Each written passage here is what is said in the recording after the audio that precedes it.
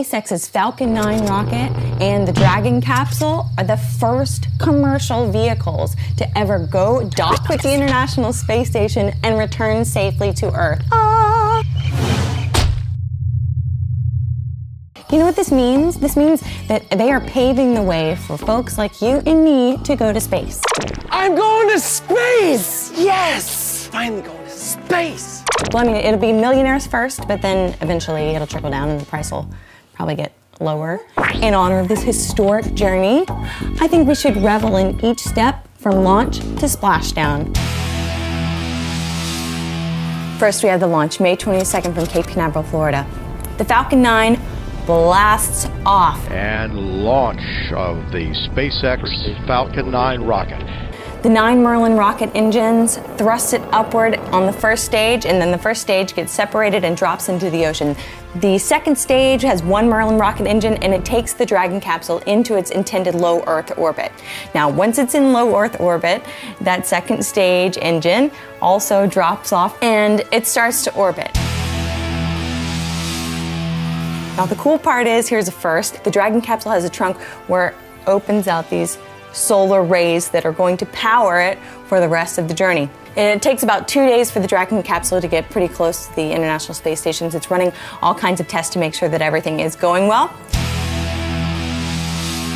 Once the Dragon capsule gets close enough, it's captured by the Canadarm2 robotic arm.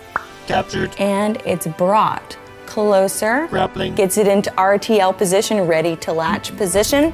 Then the Canadarm goes into limp mode, unattaches, and the berth time is called 12.02 p.m. And now it's time to enter the Dragon capsule.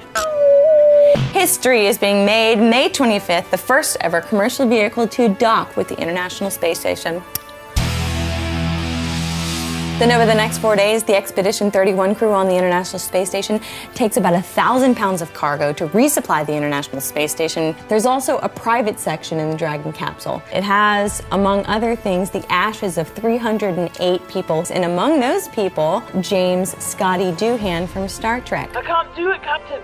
I don't have the power. Total time of five days, 16 hours, and five minutes. The whole thing happens in reverse order. The hatch is sealed. The Canadarm grabs the Dragon capsule. The Dragon capsule is released. And then later that day, it splashes down 500 miles off the coast of Baja California. How cool is that? It returns safely on a historic mission. So the launching, the docking, the re-entry, all a great success. SpaceX's billionaire founder Elon Musk said, Welcome home, baby. and that's what I say too. Welcome home, baby.